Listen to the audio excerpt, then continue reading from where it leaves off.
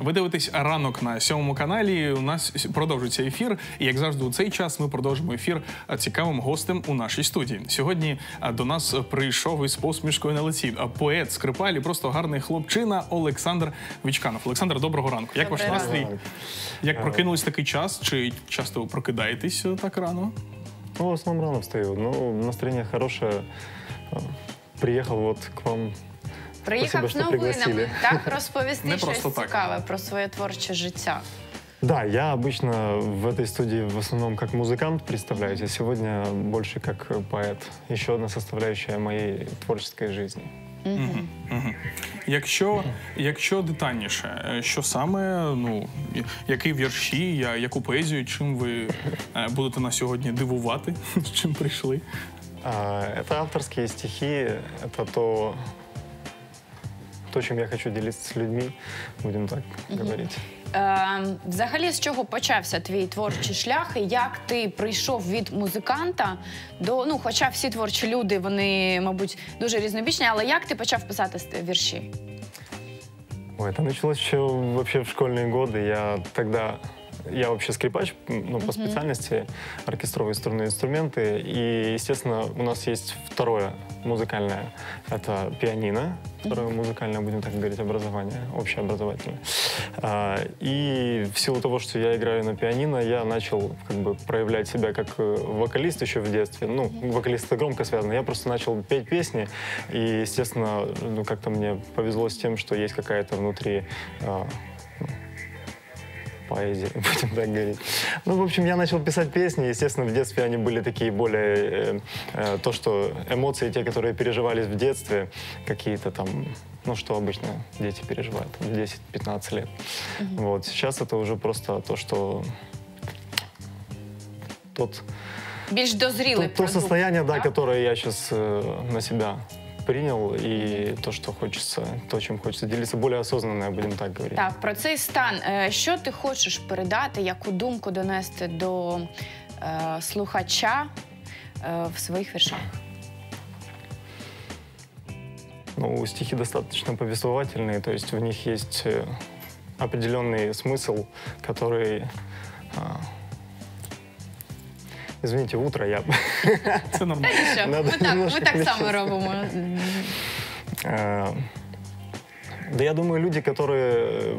э, А сейчас они имеют возможность познакомиться с э, творчеством, да, они как бы послушают и поймут, что э, они, в принципе, в целом о том, что происходит в нашей жизни, о том, что мы... Есть вещи, которые мы привыкли принимать как э, что-то обычное, обыденное, но на самом деле оно гораздо ценнее, тем, чем то, что мы ценим. Вот, в принципе, зачастую об этом и есть стихи. То есть мы, Right. чтобы люди начинали ценить то, что действительно Те, що есть є. ценно. Да. Мгм. У нас є можливість зараз е, не тільки послухати твої відповіді, але й подивитися один відеоролик. По- Да, Після здорово. продовжимо. Давай.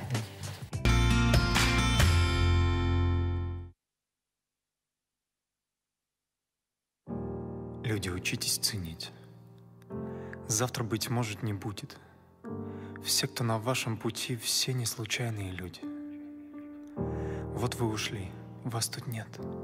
Может быть, больше не будет. Просто любите всю жизнь. Жизнь вас также полюбит. Много вы помните зла, много чем вы недовольны. Вспомните, скольким теплом, кто вашу жизнь наполнил. Люди, учитесь любить. Завтра, быть может, безмолвным. Все, что держали внутри, некому будет сказать. Благодарите судьбу за всех, кто вас любит и помнит. Кто набирает ваш номер просто, чтоб поболтать. Люди, дышите всей грудью. Незачем быть таким скромным. Тот, кто себя не наполнит, так и не сможет летать. Тот, кто сам не наполнен, не сможет других наполнять.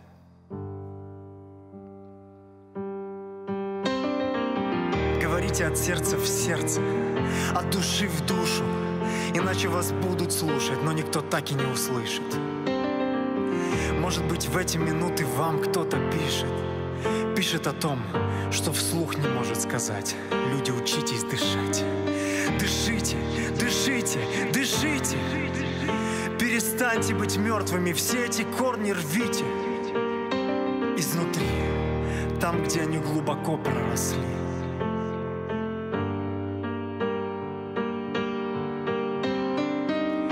Учитесь ходить по новым маршрутам. И там, высоко в облаках, и здесь, на земле, очень низко. Ничего просто так. Все новое, только с риском. Люди, учитесь мечтать. Вспомните ваше детство. Кем вы хотели стать, нет тому больше в вас места.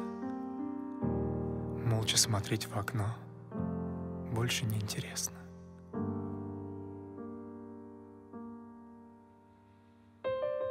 Люди, учитесь молчать. Завтра, быть может, не будет. Все, кто о вас не забудут,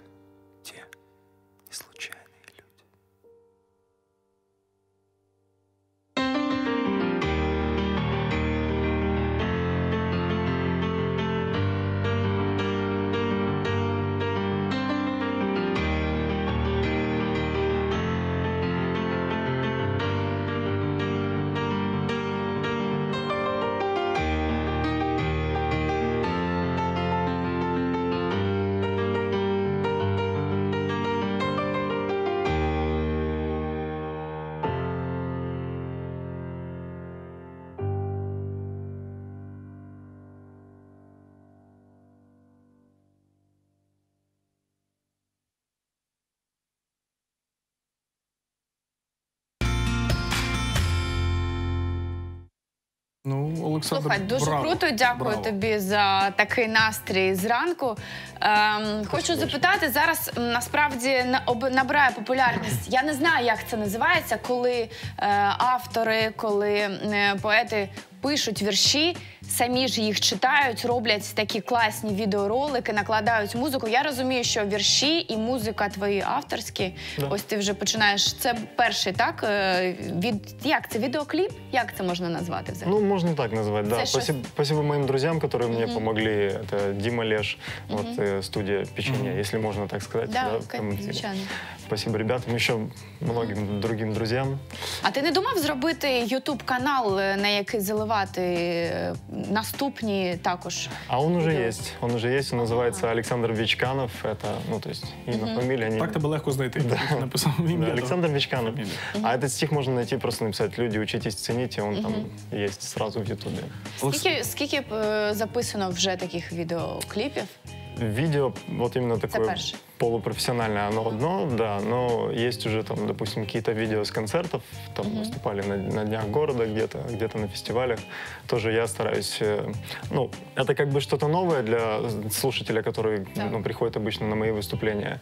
И я так по чуть-чуть, э, где я выступаю как шоу скрипача, э, там, или, или там лазерное шоу, то, что мы Ти делаем. сейчас. потрошечку пропонуєш, Да, так? я обычно в конце выступления, э, как бы стих, он достаточно, этот стих, он достаточно лично для меня, он просто очень, э, ну, я его принял, а, и он, Ну мені здається, Хочеться він не доносити. залишає нікого ем, Без емоцій, так. без емоцій. Так, а як сприймає публіка? э, ну, Були якісь есть- несподівані реакції? Можливо, хтось плакав? Дело в том, да. Що ну, це дуже це, це насправді очікувана реакція. Я слухала, я м, трошки стримувалася. Были такие моменты даже вот, э, в основном я вычитал сейчас пока на какую-то большую аудиторию, да, это был фестиваль, там пару тысяч человек, День города, там, в Каховке мы выступали, тоже там было очень много людей, естественно, э, не все готовы тебя сразу воспринимать и слушать, потому что, ну, меня не знают люди. Э, и ты замечаешь, когда ты начинаешь читать, а, не так много внимания, а, но когда уже прошли тише какие-то несколько стоит, строчек, да? все тише и тише, да, и ты- люди уже прислушиваются, и ты понимаешь, что ты уже можешь ну, наполно отдавать, э, потому что люди реально тебя готовы слушать. Там есть Слухай, так- а такая як ти фраза. відчуваєш? Ну м, це дуже особистий вірш. Це такі роздуми, вони глибокі. Ем, тобі не складно ось ем, перед величезною публікою бути ну наче оголеним, мені здається, читаючи такі вірші, бо м, я не знаю, це складно чи тобі це легко дається? Это наоборот легче. То есть, когда ты стоишь без массы, когда ты не стараешься кого-то из себя представлять, когда ты вот просто есть, э, гораздо проще общаться с публикой, потому что есть контакт. То есть ты, ты делишься с ними чем-то откровенным, и, естественно, они... Мне кажется, вообще да, это тренд э, по- последнего времени будет, что люди становятся более искренними. То есть они понимают, что уже не надо кого-то строить, потому что слишком много искренних ребят появилось. То есть уже э, больше надо подстраиваться под то, чтобы перестать быть кем-то и начать быть собой. И вот, э, ну, э, мне кажется, лично для меня это гораздо более правильный путь, нежели ну, пытаться э, подражать кого-то или кому-то. Олександру, як саме ви пишете ці вірші? Що ваша муза, чи є якийсь секрет, е, таємниця? Ну, к- как бы это ни прозвучало, я чувствую именно так, что я их просто записываю. То есть не то, чтобы я сижу и думаю над стихами, как бы что-то написать, как бы что-то прийти к какому-то э, какой-то рифме или что-то еще. Я просто вот, э, я сейчас чувствую, что мне нужно сесть что-то написать. Это может быть в любой момент. Вірші Да- несподівано приходять до тебе? Да, абсолютно. А найнесподіваніше місце? Найнеочікуваніше?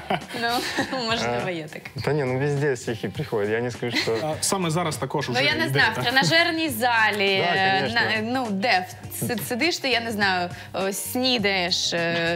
Ну, так Ну вот э, э, часто вот мы с Юлей, вот она девушка моя, она за кадром, Она. вот мы с ней часто общаемся, и это тоже рождает какие-то строки, потому что а, ну, у нас нету слишком эмо- эмоционального об- общения, то есть мы стараемся находить какой-то общий язык, есть темы какие-то, а, которые поднимают во мне а, этот всплеск каких-то, ну, чувств, э, за что, за что можно э, зацепиться, чтобы как бы от этого оттолкнуться. Потому что мы, что, по сути, все люди, это они одинаковые, когда они общаются друг с другом.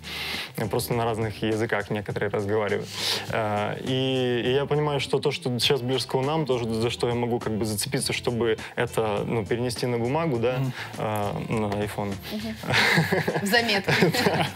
Э, Ну, как бы это может быть близко и остальным людям, там, парам, просто отдельному человеку. Чи Поети може 20 тебе надихнути я, чужа історія, розказана кимось? Ти її послухаєш і. Да, безусловно. Есть даже такие стихи, которые э, приходили именно от того, что я... Ну, когда мы слушаем, да, о ком-то, у кого-то жизни это есть гораздо сложнее, чем наши, правильно? И я всегда об этом помню, о том, что даже если сейчас что-то вроде бы плохо, всегда есть варианты и похуже. То есть, э, поэтому, естественно, если я слышу э, какую-то историю, которая мотивирует на жизнь, мотивирует на то, чтобы ценить жизнь, любить ее, потому что, в принципе, она нам дана. И Если мы как бы ее, э, ну, перестаем ценить то, что мы вообще живы, в принципе, а, ну, как бы тогда и жизнь к нам так же само относится. Ти професійний скрипаль. Зараз е, це таке нове для тебе писати ці вірші, записувати їх. Чи переважатимуть вони е, зараз, чи ти залишаєшся, по-перше, музикант в першу чергу? Дело в том, что это всегда шло параллельно. Вот я еще со школы, когда я начинал писать э, песни, э, пускай они сейчас уже вряд ли когда-нибудь выйдут в эфир, э, нет, что-то, может быть, когда-то и выложу. Но это всегда шло параллельно. Просто зачастую э, сам инструмент скрипка, он более доминирующий всегда был, потому что я выступал с дуэтом А17, с Сашей Чекмаревым. Много лет, мы 7 лет вместе выступали. То есть там постоянно была скрипка. Я свои отдельные сольные проекты тоже веду, э, Шура, скрипка, вот, э, и они более доминирующие. А то, что сейчас есть, это я хочу с этим начинать быть э, тоже интересным, открытым для людей э, с точки зрения и вот такой вот... э, Чому ти вирішив це робити саме зараз? Ти відчув, що зараз е, настав такий час, коли це дійсно е, користується попитом, е, привертає увагу вірші, е, більш таке м, щось щире. Я скажу честно, я не слежу вообще, в принципе, за поэтами. Я не считаю, не отношу, я хотя бы сказал уже пару раз слово поэт, но я не отношу себя к поэту. Я просто э, человек, э, который э, принимает определенную информацию, переносит ее на бумагу, и я просто чувствую, что а, ну, чем дольше мы держим свое творчество внутри, дома, в полках, тем меньше мы ценим то, что нам приходит, и тем меньше нам приходит. Поэтому, естественно, сейчас я выбрал путь, что э, я открыт к этому, я готов этим делиться с людьми. Если оно приходит, то ну, я уважаю эту ситуацию и Олександр, готов. як, к ней. як для не для поету, Е, я ти для твоєї творчості, які основні теми чи основні якісь е, ідеї ти вибираєш? Якщо ти йдеш по своєму якомусь він ж не обирає, путі, його мені обирають здає- ідеї. знаходять самі, лізуть до голови. А, ну, что касается именно э, инструментальной музыки, это то, что э, сейчас это в основном кавера, это то, что мне близко. Я в основном всегда выступаю только с той музыкой, которую, которая мне нравится, потому что, э, ну, гораздо проще передать эмоции, гораздо проще быть честным и открытым в том, что тебе нравится, чем э, просто собирать то, что нравится, ну, будем так говорить, трендово, да, но ты не чувствуешь себя в этом, и, ну, просто какой-то обман получается. Поэтому я больше за то, чтобы вот максимально то, что тебе близко, то, что по душе, то, и- то и делай. Де, окрім Ютубу, як ми вже з'ясували, е, можна ще знайти е, твою творчість на Фейсбуці, чи в ін- чи плануєш в інстаграмі, можливо, робити окрему сторінку з, з віршами? У меня есть э, страничка Шура Скрипка в Инстаграме, и называется, Шура Скрипка. Э, Это исключительно страничка для э, инструментальной музыки. Будь то кавера какие-то, будь то какие-то рабочие процессы. Да, я выступаю на корпоративах, естественно, я туда выкладываю достаточно тоже такого контента.